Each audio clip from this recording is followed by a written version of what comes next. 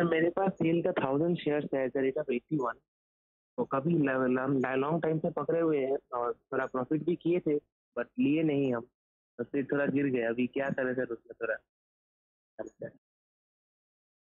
इक्यासी रुपये पे आपने लिया है और पचास पे चल रहा है। सर्वेंद्र मेटल साइकिल ऊपर नीचे हो रहा है। सेल में क्या एंट्री सही है इनकी इक्यासी रुपए पे?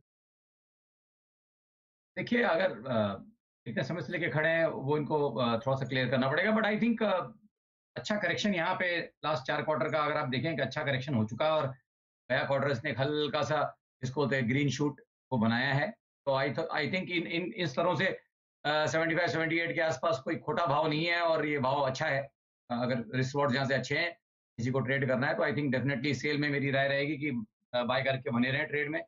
सिक्सटी एट के नीचे जब तक बंद नहीं आता तब तक आई थिंक यहाँ रुझान पॉजिटिव रहेगा और ऊपर में आपको पुल बैक में सौ से लेके 110 के लेवल्स इमीडिएट बेसिस पे नेक्स्ट तीन से छह महीनों के लिए टारगेट रहेगा और अगर तो ज़्यादा इनके पास दायरा है तो ऊपर के स्तर भी आएँगे।